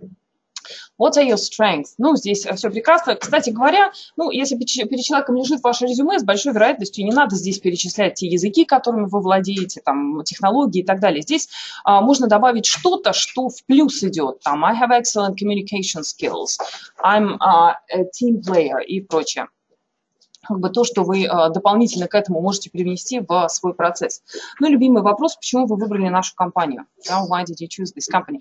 Собственно, а, всегда можно а, польстить, это хорошая возможность, да, польстить, и, как правило, прелесть вот такого рода ответов здесь, что вы вряд ли лжете, да, потому что если вы пришли сюда, а не в какую-то другую компанию, значит, вам там что-то больше нравится. А, позвали. Да. А, ну, а, вполне возможно, что я просто сделал уверенную рассылку резюме, куда позвали. Ну, это вариант Б ответа. Вариант А, да, все-таки скажем что-нибудь хорошее, вроде it provides the most promising opportunities in the field, you're the leader, да, лидер там в своей области и а, так далее. Вы более престижная компания, да, а, там, в которой я хотел бы работать, хотел бы изучить новые возможности и так далее. Um, еще такой tricky question. Why did you leave your previous employer? Если вы сейчас в данный момент не uh, заняты, либо же речь о там предыдущих-предыдущих uh, uh, местах работы, да, а, что здесь можно сказать? Ну, естественно, да, мы тоже говорим что-то такое позитивное. It's safe to say I outgrew the potential of that position. Да, не ошибусь, если скажу, что перерос ее потенциал. I've heard positive forecasts about this company's future. Да, слышал положительные оценки о перспективах вашей компании, хотел бы, э, собственно, работать вот в такой более перспективной, более активно развивающейся, динамичной компании. Трудности перевода, да, у всех у нас э, такие моменты бывают, если вы не совсем э, хорошо владеете э, языком или на самом деле, ведь вашим собеседником может быть человек не идеально владеющий языком, да, это может быть не носитель, э, всякие могут быть ситуации. М? Э, да, совершенно верно. А, э, во-первых, если вы чего-то не поняли, э, обязательно уточните, да, потому что неправильно понять вопросы, начинать отвечать не в тему, а, воз, ну, либо вы произведете впечатление не очень уверенного человека, либо же вас действительно могут неправильно понять, понять так, как вы действительно отвечаете на этот вопрос, и, э, там, допустим, вы эм, не упомянете чего-то, что могло бы повысить ваши шансы и так далее. Поэтому нет ничего совершенно плохого в том, чтобы ответить на э, вопрос, который вы не поняли, вопросом с просьбой уточнения. Да, там, sorry, could you say that again, please? Would you mind repeating that? Опять же, выиграть время тоже неплохо. Может быть, э, вы просто какой-то там, полминутки себе выиграете, чтобы получше сформулировать ответ. А, может быть, ну, такого похожего да, плана уточнения. Let me check this. Are you asking about blah? Uh, do you mean да, то есть э, с какой-то переформулировкой того, о чем а, вас, э, вероятно, спрашивает собеседник. Может быть, вы все поняли, но действительно вопрос сложный. That's a great question. Let me think. Это две трудности перевода, просто реально подумать. Да, да, да, совершенно верно. Ну, здесь такой смайлик. А, да, э, на самом деле э, ничего плохого в этом нету. Рекрутеры, э, естественно, часто, ну, вот 4 часа, да, человек задает вопросы. Я не думаю, что это были очень легкие вопросы, в том числе, может быть, было и что-то такое не очень легкое для ответа. А, как бы рекрутеры могут задавать вопросы, не только ожидая, что успешный кандидат их легко, на них легко ответит без всяких проблем, но в том числе отдавая себе отчет в том, что а, вполне адекватный подходящий кандидат может а, потеряться, отвечая на них. А, и здесь а, не то, что потеряться, а, скажем так, э, вопросы задаются как изначально а, с пониманием того, что они сложные, они там нелегкие. А, и э, здесь, э, возможно, не так важно, что вы содержательно ответите, сколько как вы среагируете на эту ситуацию. Да? Там, впадете ли вы в панику, или как-то иначе себя не очень э, положительно проявите. Поэтому, в принципе, уметь э, выиграть э, время, там, э, попросить переформулировать, это навык, который собеседник вполне может оценить и положительно. Um, um, Окей, пожалуйста, такой вопрос, как вариант да, продолжения. I'm not sure where to start. Could you be more, a bit more specific? Да, может быть, вам задается вопрос какой-то очень общий. Может быть, э, э, просто вы действительно хотите уточнить какую-то э, деталь, о чем именно а, спрашивается. А, кстати говоря, вот я чуть-чуть забыла вот здесь упомянуть такой важный момент. А, смотрите, вот плюс вот этих вопросов weaknesses, strengths, greatest challenge заключается в том, что вы, когда, они достаточно широки, и вы, когда на них отвечаете, вы можете, грубо говоря, выбрать, как вы их поняли. А, да? Вот первая реакция uh, greatest challenge – это uh, ответить о чем? Собственно, о профессиональном вызове, да, вот о том, что было трудно профессионально, сугубо там, в процессе вашей там, а, выполнения ваших обязанностей. Но с другой стороны, если вы не хотите по тем или иным причинам вот а, таким образом отвечать, вы можете а, немножко в другом аспекте ответить. Там самым трудным для меня было с, вот, там, при выполнении какого-то а, проекта, вот, кстати, это был очень успешный проект, да, я там maximized conversion и все, все такое, там, допустим, а, с, э, поддерживать там life-work balance в процессе этого, да, то есть вы уже совсем а, с другой позиции отвечаете, а, то же самое weaknesses, да, ну, классика жанра, скажите, что вы перфекционист например. А, то есть, э, да, то есть вы, э, ну, я условно говорю, да, то есть э, не отвечайте сразу слабостью, боже, мне надо признаваться, что у меня там в резюме не так, да, а поймите так это слово и интерпретируйте его в своем ответе так, как вам это удобно. Окей. Okay. Uh, ну и, собственно, совсем прям уже такой, да, uh, ну, действительно, ну, бывают трудные вопросы. I'm not sure I can answer this one right now. Let me get back to it. Да, там, uh, давайте чуть позже к нему вернемся. Там, я готов буду чуть позже на него ответить. Um, Окей. Ну, собственно, вот э, так, э, наверное, это все. Может быть, какие-то вопросы? Ну, у меня про резюме пара вопросов. Uh-huh. Во-первых, вот момент э, с, э, с тем, что ну, резюме должно быть целевым. Uh-huh. Ну, понятно, что, допустим, если я работал в Макдональдсе, то и, и, и иду там на какого-нибудь там тимлида, никого мой, мой работа в Макдональдсе не интересует. Но если, допустим, был серьезный, был, был, была серьезная смена карьеры, uh-huh. То если не, там, не, об этом не, не сказать, ну, не то сказать, получается такой то, гэп. Да, такой, получается такой разрыв, там, допустим, там, лет 10, там, вот, что uh-huh. работодатель вполне может возникнуть вопрос, а чем вообще там занимался вот это время?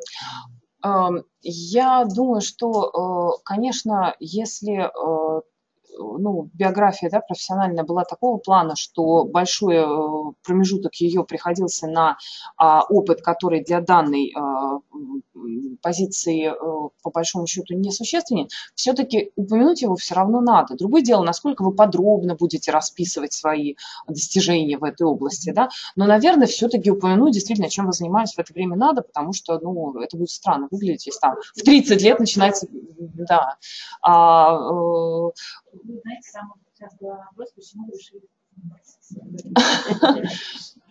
Да.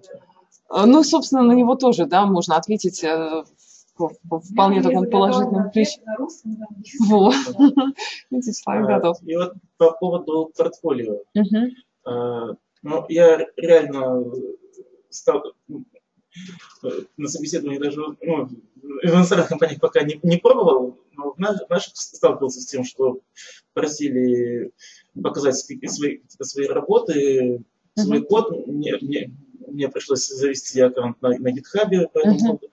А, и вот такие ну, два, два таких момента. Во-первых, где лучше выкладывать э, для портфолио для иностранных компаний, uh-huh. подойдет, подойдет ли тот же GitHub или там они смотрят какие-то другие ресурсы.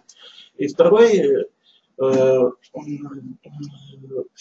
вот в настоящий момент у нас, у нас в компании все идет, вся разработка идет в закрытой сети, и то, что я разрабатываю сейчас, я не смогу показать а, потенциальному работодателю. Uh-huh. А Личными проектами у меня сейчас нет времени заниматься. Uh-huh. Весь, весь тот код, который у меня сейчас на GitHub, он, мягко говоря, не отражает мой uh-huh. текущий опыт. И я, я сам смотрю на его, вот, с текущего опыта, я бы все это переписал. Uh-huh. Просто, ну, просто нет времени. Ну, я думаю, что, конечно, а, как бы, да, э, там коммерческие тайны текущего работодателя придавать не надо, да, это не очень хорошая рекомендация для нового.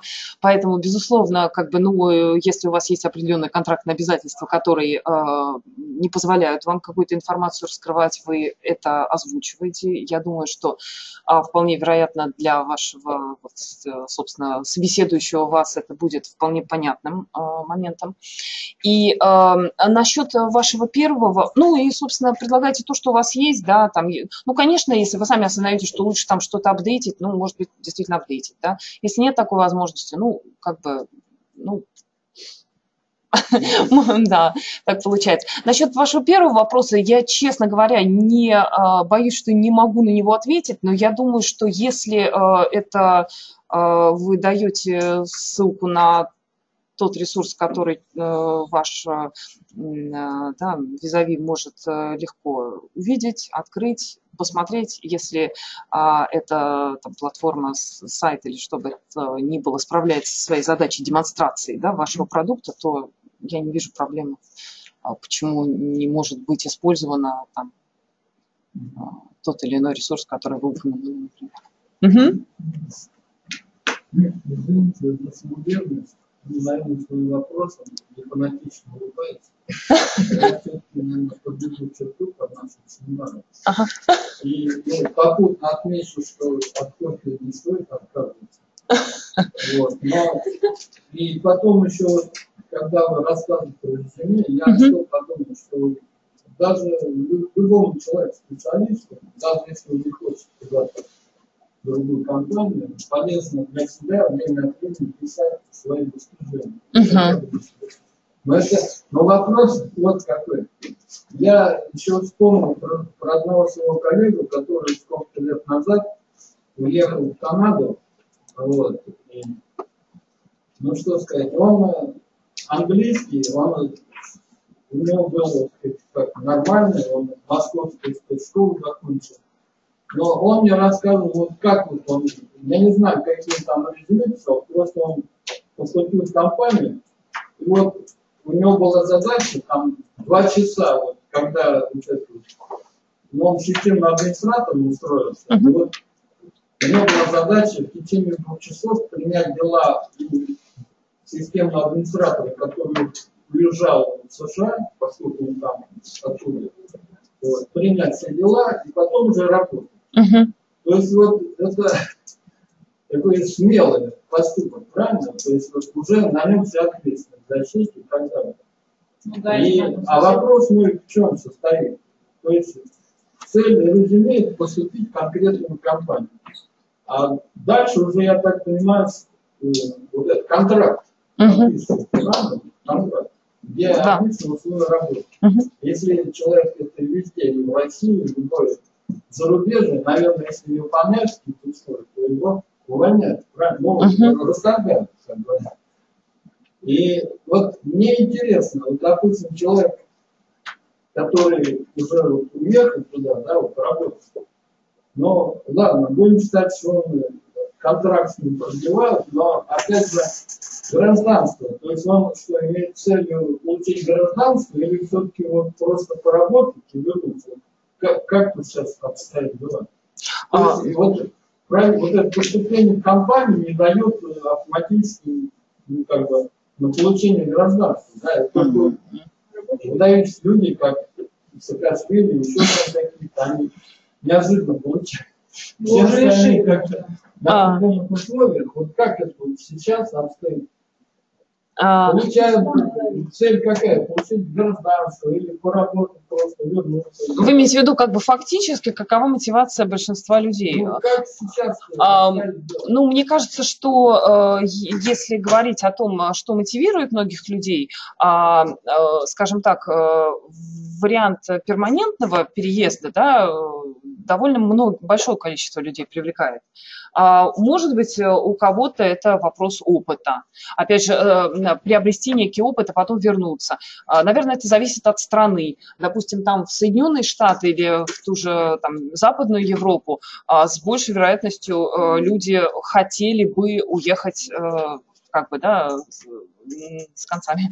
А, но, допустим, если э, там, ну, скажем так, менее сложным, условно, менее сложным воспринимается получение работы там, ну, условно говоря, в каких-то там компаниях или, а, ну, может быть, даже странах, ну, скажем так, менее популярных, да, ну, там, не знаю, Польша, да. А, может быть, в основном большинство людей рассматривает это скорее как ступенька а, для того, чтобы там далее каким-то образом развиваться. Ну, я думаю, что это вопрос кон- конкретной мотивации. Ну, в любом случае, это надо еще заработать, правильно? Не так просто поступить в компанию одно, А получить гражданство конкретно, это уже... Нет, ну, гражданство напрямую с, с работой не связано, с- с- скорее, да, она является необходимым э, условием, но отнюдь недостаточно. В то же время контракт можно в любой момент прервать. То есть вот работодатель может закрывать контракт. Ну, я думаю, что если контракт срочный, его, наверное, прервать можно по каким-то таким конкретным причинам, да, там какие-то сильные нарушения, какие-то сильные э, такие проблемы, ну, несправление с своими обязанностями. В, в типичном случае, наверное, его просто не продлевают, если человек не удовлетворяет. Смотрите, языковой вопрос. Наши работодатели все очень любят в советские времена выдавать а, грамоты, знаки отличий и прочее, прочее, прочее. Ну, часто это называется грамоты, да? Мгм. А, европейские работодатели любят такие документы, но вот как правильно перевести? Потому что летер уклона Мгм. звучит как э, приглашение в серьезно. А, вы знаете, хороший вопрос, на самом деле, честно говоря. Um, I can't answer this one right now. Um, um, вы знаете, честно говоря, вот сейчас вот э, прям затруднюсь отве- ответить. А, Это буквально э, в русском называется грамота. Грамота, Мгм. Ам, Мы долго думали, вот и Мгм. додумались только до этого фона. мгм. А, Ну, а, ну, acknowledge это глагол, acknowledgement э, тогда М, Признание. Э, Acknowledge глагол признавать. Поэтому либо acknowledgement, либо что-то в этом роде. Ам, Letter of recognition. Признавание, узнавание тоже, да, признание. А, может быть, э, вот, Благодарности всякие, благодарности. Мгм. Ну, э, ну вот, э, ну вот какие, на- надо по- поиграть, какие-то варианты, да, посмотреть. Так вот, э, вот это как раз тот случай, А сейчас Ну, ну вот прям та- так конкретно нет, я бы, э, да, посмотрела бы, да, что уже как бы прошедшие этот путь использовали. Ну, потому что, ну, это случай реалий, да, это вот тот случай, когда эквивалентов таких э, прямых нету, и надо под- подбирать э, как бы как- какую-то комбинацию, которая более или менее ам, полно выразит вот этот смысл. Мгм. Так, здесь у нас тоже. Ам, еще какие-нибудь? А можно я комментирую? Вы сейчас задали вопрос по поводу договора.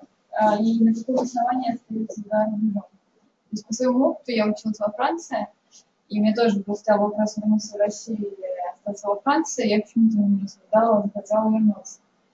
И такая ситуация, а, и понимание этой ситуации должно быть кандидата. Он должен в первую очередь понимать, что такое рынок труда в той или иной стране. А, Что сегодня, допустим, во Франции, это все контракты заключаются на время. Какой бы ты там ни был специалист, ты даже может быть топовый менеджер, а, ведущая компания заключает на время. То есть сегодня есть проекты, сегодня я тебе гарантирую оплату, я тебе гарантирую бонус, да, сегодня ты работаешь со мной, а завтра посмотрим. А среди выпускников, то есть до 30 лет, выпускники, они за всех, всех, всех, всех, кто немного работал. Там вообще совершенно другая ситуация. Они заканчивают, обучаются в университете бесконечно, реально, потому что по окончании университета они устраиваются на стажировку. Эта стажировка оплачиваемая, но приходит момент, когда тебе говорят «до свидания». А работодатель тебе сегодня не готов взять. У тебя есть полгода подготовиться, поступить в университет другой. Ты так учишься, пока тебе не надоест. Тем более во Франции, вот, я училась бесплатно. То есть среди даже моих ровесников, там были намного старше, и люди ни разу не работали жизни. И, ну, они не говорили, конечно, с гордостью, но ситуация совершенно экономически другая, социально другая. То есть не задается вопрос, насколько начать а, работать, когда даже я, будучи а, иностранцем, не имея никакого отношения к Евросоюзу, у меня будет дотация. Мне кажется, это очень тяжело. А поступали заочно? А, я очень училась. Нет, а поступать, нужно поступить. А, я конкурс, а, в конкурсе участвовала, отправляла портфолио. Там во Франции по портфолио, я думаю, в Италии также. Это обучаем, да? А, у меня образование управления бизнесом, а первое у меня переводчик. поменяла ориентацию. И вот тоже сказать про программу магистратуры, мне кажется, сегодня она в России не продумана. Разделили, отделили специалистов, но ничего нового не обучили, потому что в России вот получилась и заканчивала программу во Франции. Училась здесь я в Москве, в Миссисе. Неплохая программа, но то, что я учила в Миссисе, ничего почти что, ну, конечно, ничего не, не могу сказать, что совсем ничего не применила. Но мало того, что мне пригодилось на работе. А то, что я учила во Франции, мне прям как по кайфе. Все эти финансы идут, все эти деления, эти методы. Ну, вы во Франции вначале работали? А, нет, нет. Бальтима здесь? Да, да, да. Поэтому вот рвение уехать за границу я, например, не часов не могу. Есть такие же, вот тоже у нас а, мочь, что искали, а, девелопера ведущего разработчика. Тоже неплохая зарплата, но так было сложно найти. То есть здесь есть работа, просто сам факт, как ее найти и как на нее выйти. Не все а, знают о вакансиях, и стандартный хедхантер не всегда работает. Потому что если ты открываешь там 10 кликов за день, ты действительно просматриваешь на какие-то ключевые, что бросается в глаза. Потом ты уже что-то игнорируешь, что-то подумаешь. Идет как конвейер дальше. Ну, Все-таки Аня подняла черту, так что я... Так, а, ну, все, да? А вот это нам М? А, Да, да, да, как сказала Ольга, э, это все будет в доступе. Большое спасибо всем за участие. Всего хорошего.